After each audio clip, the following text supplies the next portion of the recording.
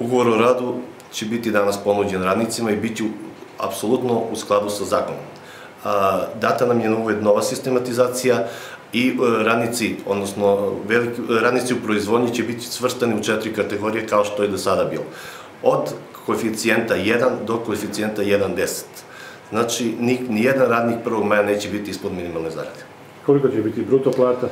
Bruto plata će biti 27.502 bruto, odnosno uh, neto 20.010 dinara. U potpunosti je ispoštovan, kažem, ono zakon o radu u delu isplate minimalne zarade.